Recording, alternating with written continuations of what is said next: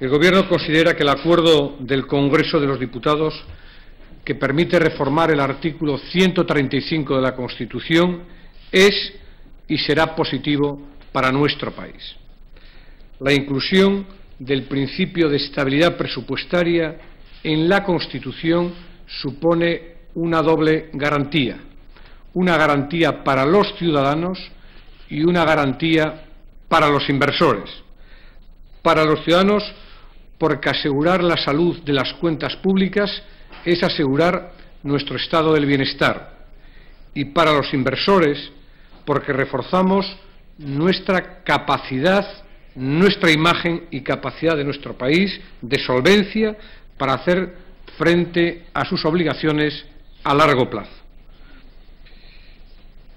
Con este paso, con el paso que se acaba de sustanciar en el Congreso de los Diputados, España se sitúa entre los primeros países de la Unión Europea que apuestan por la gobernanza económica europea.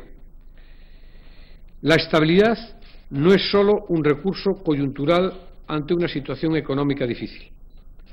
Es un principio de buen gobierno, es un principio de salud económica. Y esta es importante para todos los países, la salud económica. Es importante para los países, es importante para los ciudadanos, es importante para los gobiernos y es importante en todos los momentos. La estabilidad presupuestaria es imprescindible aquí y ahora para salir de la crisis y es necesaria en la economía global y seguirá siendo necesaria para todos los países que quieren tener una economía sana y una economía competitiva.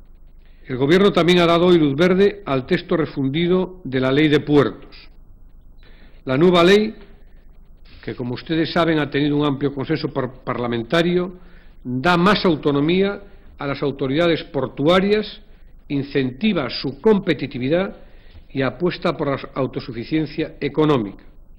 Por primera vez, un sector estratégico, el de puertos, asume el compromiso por ley de alcanzar una rentabilidad anual del 2%.